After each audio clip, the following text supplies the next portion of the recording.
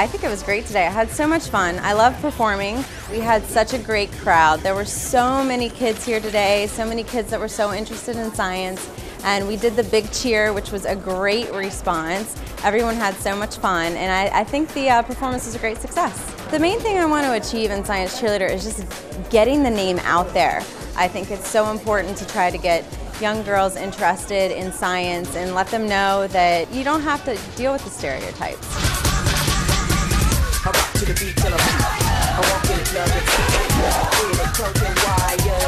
This is my first event with the Science Cheerleader. It really, it makes me so happy to see a little girl here today, like smiling and telling me that she likes science and she's also a dancer. And, you know, if I can make the difference in one person's life to help them or to encourage them to pursue science and to pursue dancing or cheering or pageants or whatever that may be, like that, that means a lot to me. And so I started to get progressively more involved and I was invited to perform at this and the Today Show is actually uh, doing a feature on me being a PhD student in engineering and also a dancer. So this was just an awesome combination of the engineering and, and science side that the Science Cheerleader promotes, but also the cheering side that I love.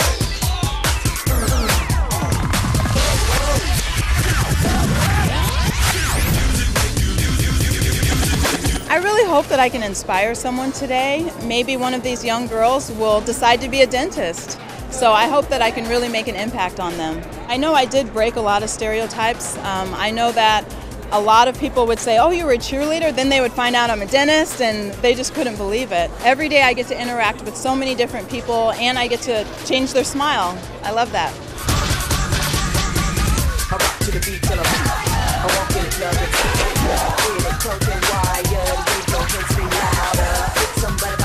Definitely uh, my senior year earth science teacher, she was amazing, Mrs. Steinberg. She was just great and she really got me into it. So when I went to college at Marshall University, I decided to study geology and meteorology. And how cool is it that we have folks who are cheerleading for science?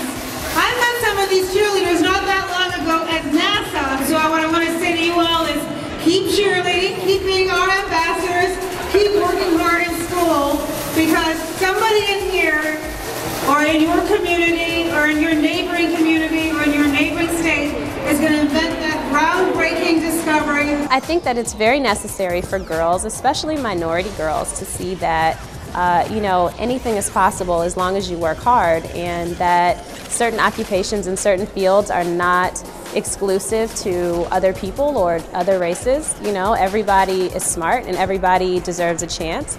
And I wanted to be living proof of that.